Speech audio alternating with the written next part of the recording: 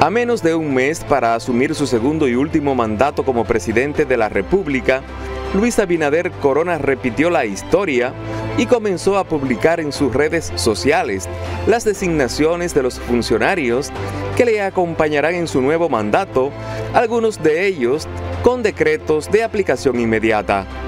Hace cuatro años, cerca de esta fecha, el entonces presidente electo comenzó a publicar en su cuenta de Twitter, hoy X, los nombres de funcionarios y los cargos en los que serían designados cuando asumiera sus funciones el 16 de agosto del 2020.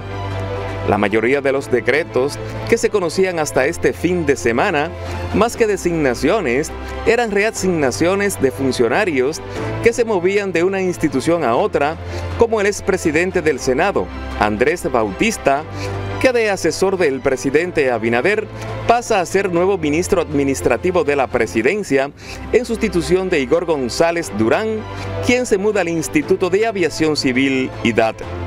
Héctor Porchela pasa del IDAT a la presidencia de la Junta de Aviación Civil en sustitución de José Marte Piantini y Simon Freud, quien se desempeñaba como director de alianzas público-privadas, es el nuevo ministro de Administración Pública en sustitución de Darío Castillo Lugo. También hemos estado trabajando en la estructuración de importantes iniciativas para el país. Milton Morrison, nombrado como nuevo director del Intran, deja a Edesur con el país en medio de una racha de apagones y Rafael Félix pasa a ser el rector del ITLA para dejarle el Ministerio de la Juventud a Carlos Valdés. Bueno, ya yo cerré, ya me pueden decir rector, ya yo no soy, ministro.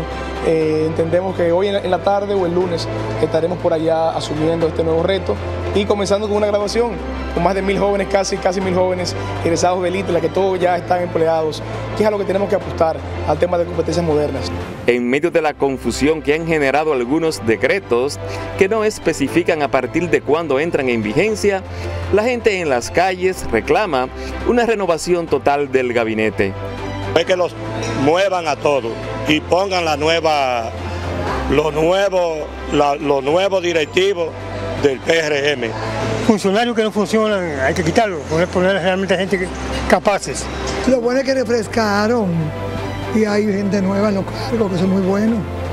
Ahora que vayan a cumplir con su deber con humildad y con mucha eh, agilidad para hacer quedar bien al gobierno. Gente que nadie lo vio en campaña con Luis Abinader, eso fue lo que tuvieron los puestos, que hoy en día son los funcionarios. Eso no conocían a nadie, no conocían a nadie y eso le cerraron la puerta a la gente que fundamos el partido del PRM, duramos 16 años en oposición, llevamos a Abinader y estamos compitiendo con Miguel Vargas del PRD.